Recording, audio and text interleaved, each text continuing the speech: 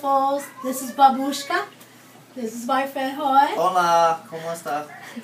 I'm going to go ahead. It's been over two years since I've had a haircut.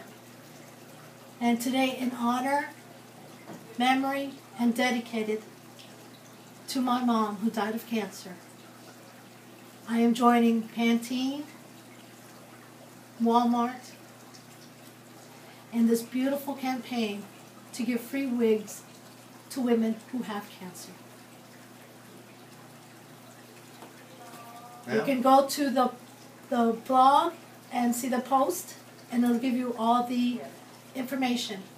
On the seventh is the official kickoff, but you know, Bibi, adelantada. Okay, Hoy, Okay, it's coming off right now. you getting it? Yeah.